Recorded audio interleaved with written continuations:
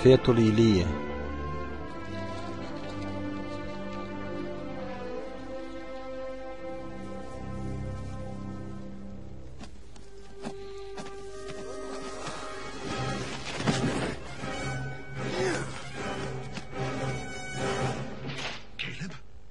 Caleb? Caleb, ce s-a întâmplat? Tu mă auzi pe mine, Caleb?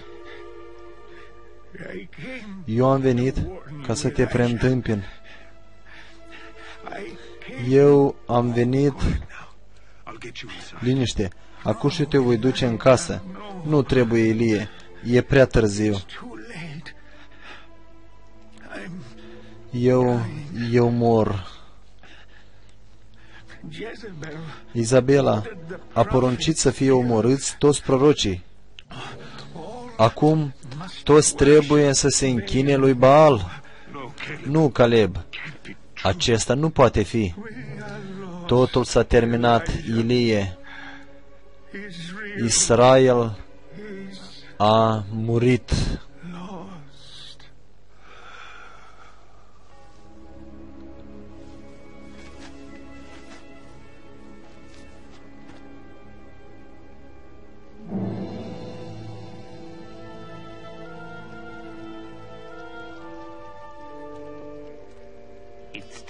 E timpul, Domnul meu. Nu trebuie să facem pe ea să aștepte.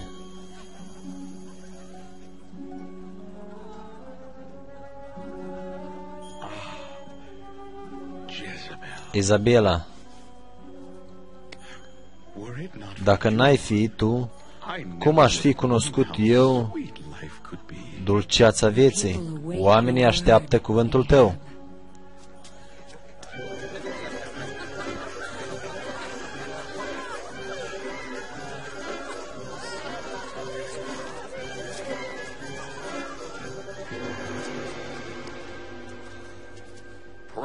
Proroci a lui Baal, prieteni și domni, Izabela, împărăteasa mea, Dumnezeul lui Israel a murit și locul lui îl va ocupa Baal. Astăzi vom sfinți acest templu în numele Dumnezeului Cerului. El e unicul care are puterea să ne trimită ploaie și înflorirea întregului pământ al Israelului. Trăiască Baal, trăiască Izabela!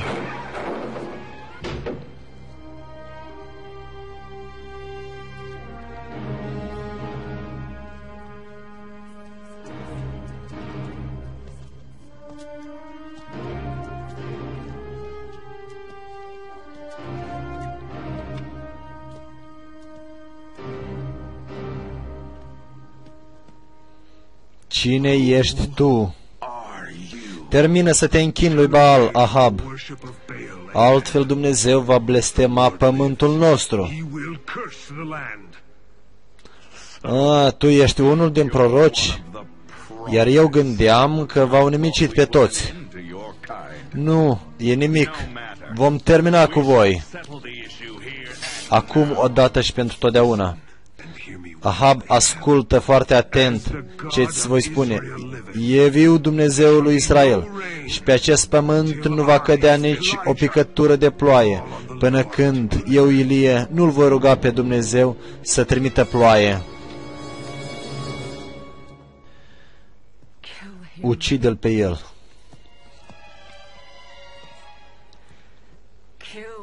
Ucide-l pe el.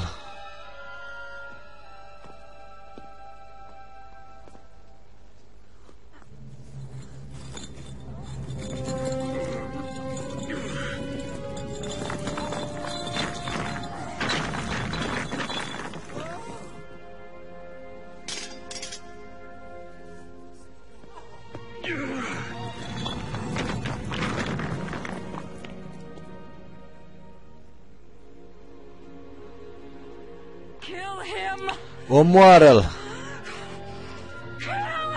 Omoară-l pe el!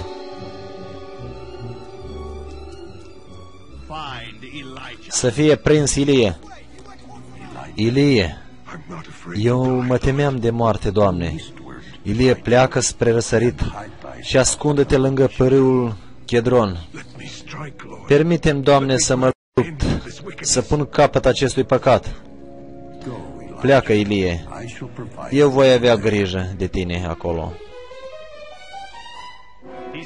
Aici el nu este. Să mergem mai departe. Oamenii mei au căutat prin toată pustia, în lung și în lat. El nu este nicăieri. Înseamnă că el s-a ascuns în altă țară. Nu, domnule. Eu voi declara război acelei țări care îl va ascunde pe el. Domnule, noi am fost prin toate țările din apropiere și toți conducătorii jură că Ilie nu este pe teritoriul țărilor lor. Domnule, el a murit. Nimeni nu poate supraviețui atâta timp în pustiu, cu atât mai mult că ploaie nu a fost atâtea luni. La aceasta și ne vom opri. Ilie e mort. Împărate Ahab, Domnule, eu am turnat la copaci de două ori mai multă apă și cu cea care a rămas putem să adăpăm caii dumneavoastră. Toarnă pe toată la copaci. Dar, Domnule, pe toate, tu mă auzi pe mine? Baal este Dumnezeu. Ploaie va veni.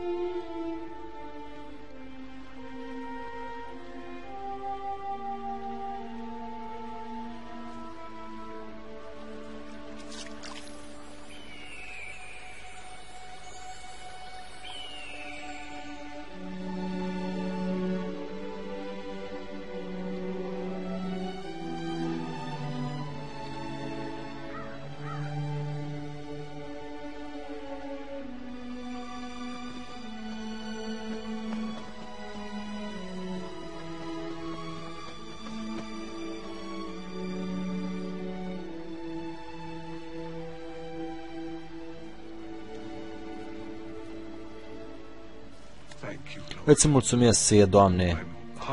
Dragostea Ta mă uimește pe mine. Dar cât încă să mai aștept aici? Permitem să mă întorc, să termin ceea ce am început.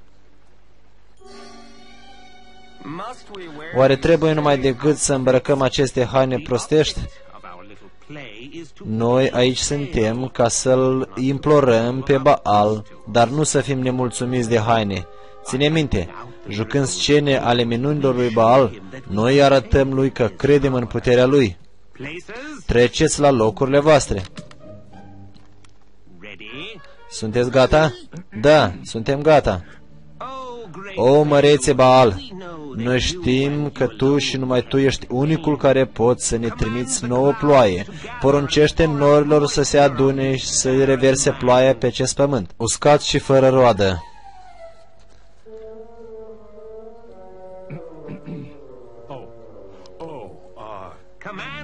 Poruncește norilor să se strângă și... Ce aud eu? Mi se pare că muritorii mă imploră pentru ploaie. Strângeți-vă norilor și turnați pe pământ ploaie.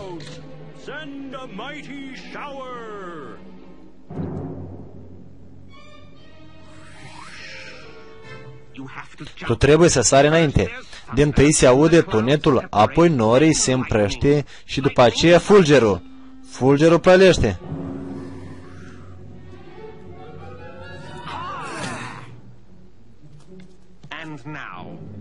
Iar acum Baal. Mai atent. Eu nu pot face nimic. Costumul e prea mare. Se poate că voi fi fulgerul. El e prea... Îmbrăcați-l înapoi. Noi aproape am ajuns. Eu refuz. Nu, încă nu am ajuns la apă. Eu din tâi trebuie să spun, o, Baale, trimite-ne ploaie. Izabela, nimic nu ajută. Rugăciunile noastre nu sunt de ajuns. E puțin sânge vărsat al prorocilor. Baal cere jertfă. Da, toți închinătorii Dumnezeului lui Israel trebuie să fie aduși jertfă lui Baal. Cu adevărat.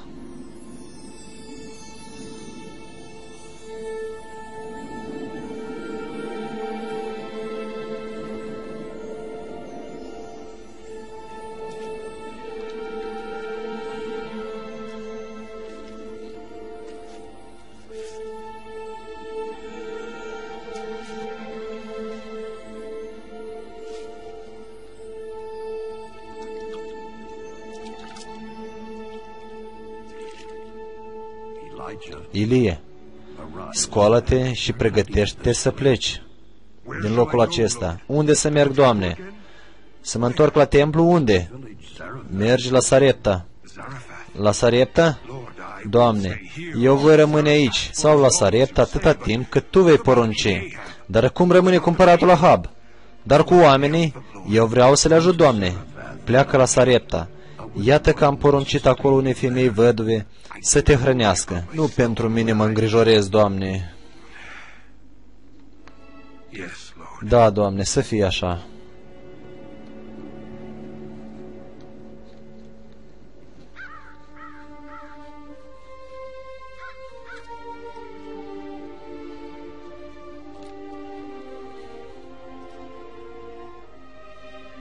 Mamă, eu sunt flămând.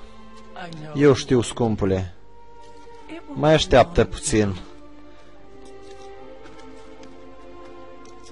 Pot să cer de la voi o cană de apă? Apa e foarte puțină. Și o mică bucată de pâine, dacă se poate. Eu nu am pâine. Iată strâng vreascuri ca să coc ultima pâine din făina ce mi-a rămas. Vom mânca și apoi eu cu fiul meu vom muri. Femeie, pregătește mai întâi mie. Îți promit în numele Domnului Dumnezeului lui Israel. Tu vei avea de mâncare până nu se va termina foametea.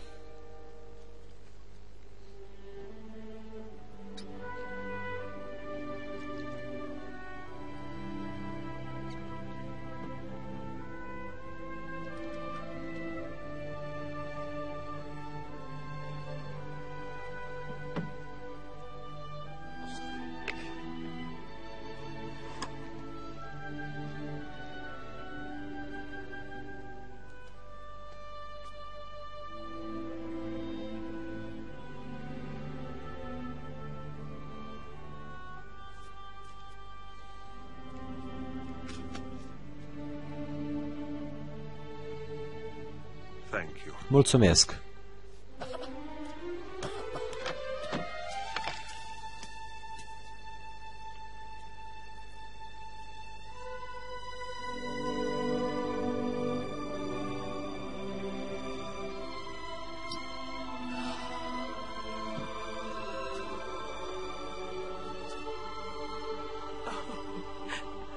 Îți mulțumesc.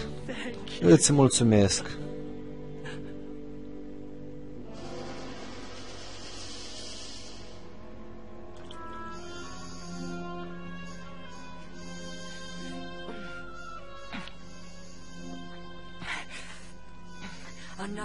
Încă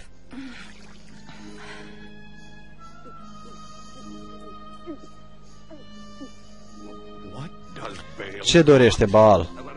Trebuie să recunosc că nu știu de ce se prelungește seceta. Ea se prelungește din cauza lui Ilie. Ce tu spui? Tu crezi cerul a auzit blestemul lui? Nu. Ilie este viu. Ilie este viu și până când el nu va muri, Dumnezeu nu va trimite nicio picătură de ploaie. A trebuit să-l ucidem în ziua aceea, în templu. A trebuit să terminăm cu el atunci și acolo. Baal, fii martore, Izabela. Eu voi găsi pe Ilie. Eu îl voi găsi.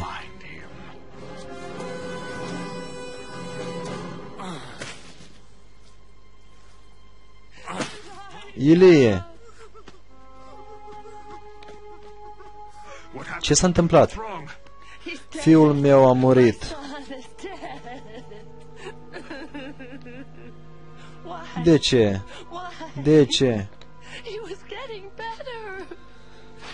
Pentru ce?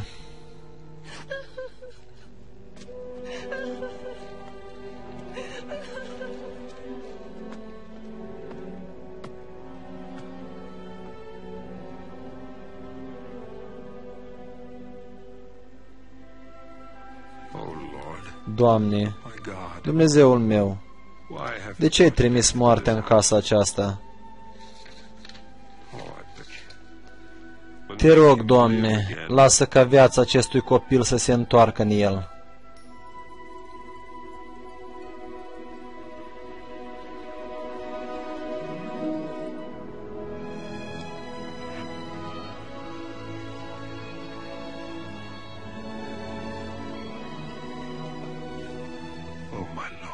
O, Doamne, Dumnezeul meu, îți mulțumesc.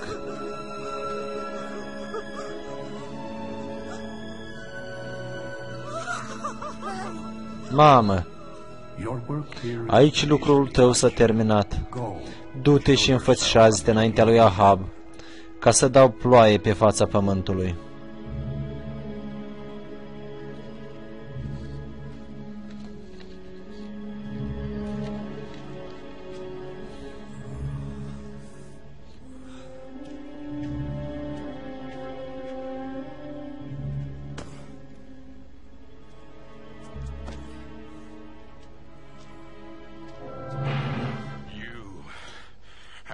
Tu ești acela care nenorocești pe Israel.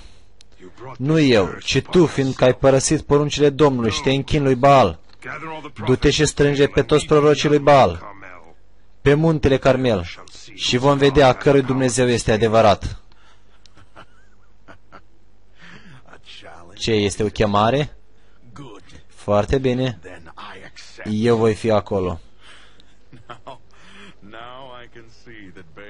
Și când Baal va trimite ploaie, eu te voi ucide, înainte la tot poporul lui Israel. Then I will kill you before all the hosts of Israel.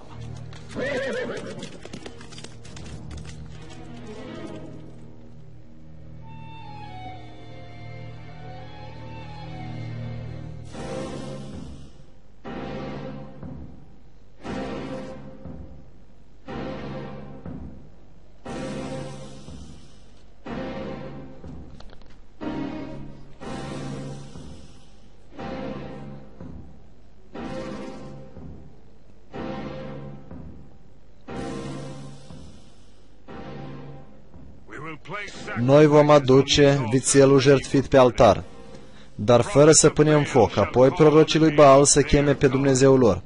Dar eu voi chema numele Domnului, Dumnezeul care va răspunde prin foc, acela să fie adevăratul Dumnezeu.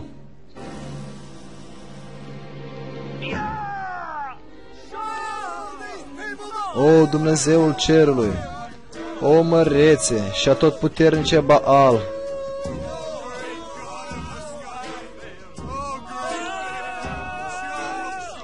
Baal, uită-te cum noi ne schinjuim pentru tine. Trimite foc pe pământ. Arată-ți puterea ta. Uită-te ce facem noi pentru tine.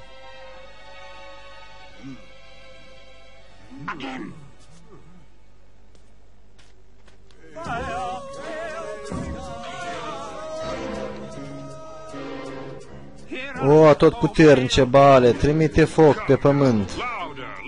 Auzi-ne, Baale. Încă o dată, mai tare, mai tare. Desigur, Baal este Dumnezeu. Pur și simplu, El nu este în stare să vă audă pe voi. Probabil El acum vorbește cu un alt Dumnezeu de-al vostru. Sau poate El, El nu este acasă. Dar poate că este la vânătoare. E posibil și așa. Poate el a plecat într-o călătorie lungă. Continuați, continuați.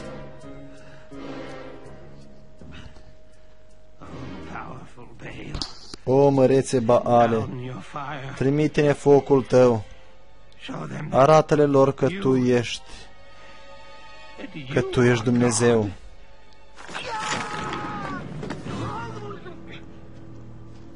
You Voi, take them away. luați de aici și aduceți apă cât veți găsi.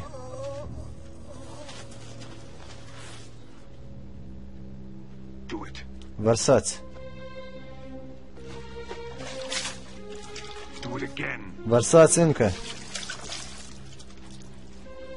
Once more. Este o nebunie. Nu se poate de vărsat apa așa în zadar.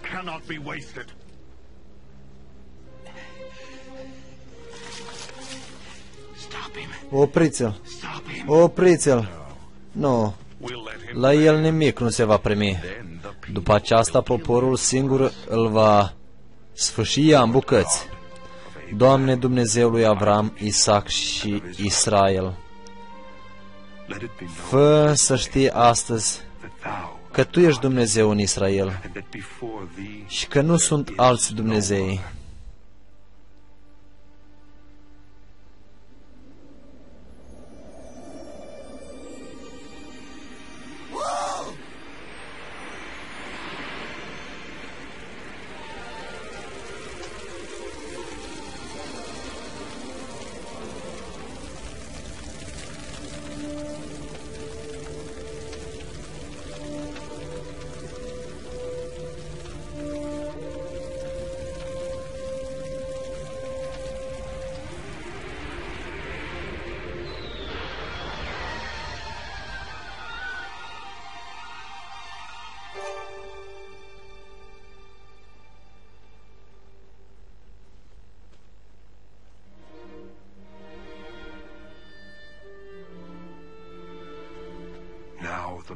Acum of Domnul Israel Dumnezeu și-a arătat puterea sa. justice.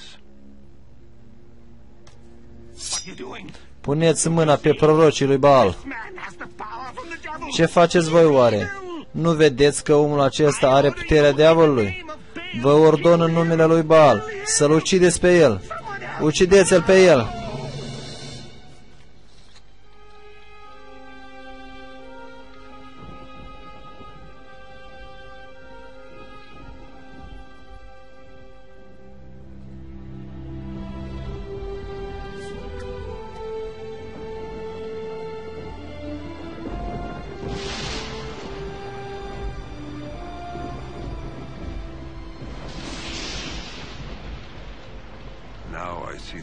Îți your mulțumesc ție, Doamne. timing. Thank you, Lord. Thank you. Îți mulțumesc.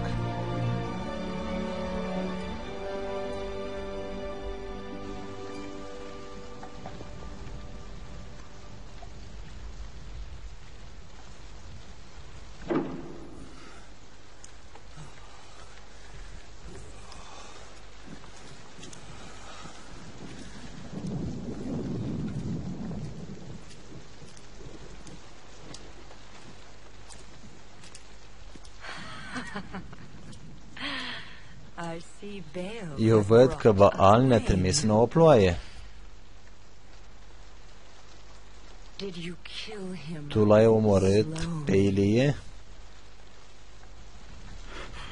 The prophets Prorocii lui Baal are dead. sunt morți.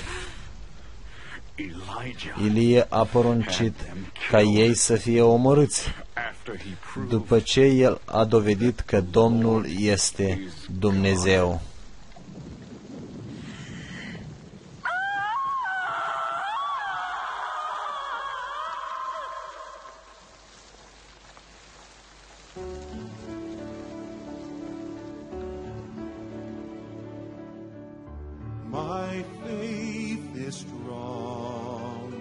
It will stand though the storm is raging. No wind can bring it down.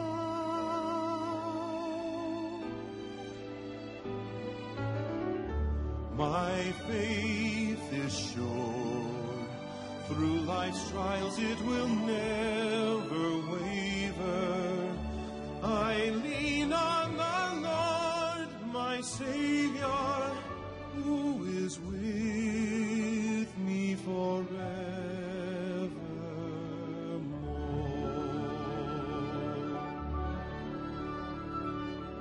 Faith can move a mountain, climb a mountain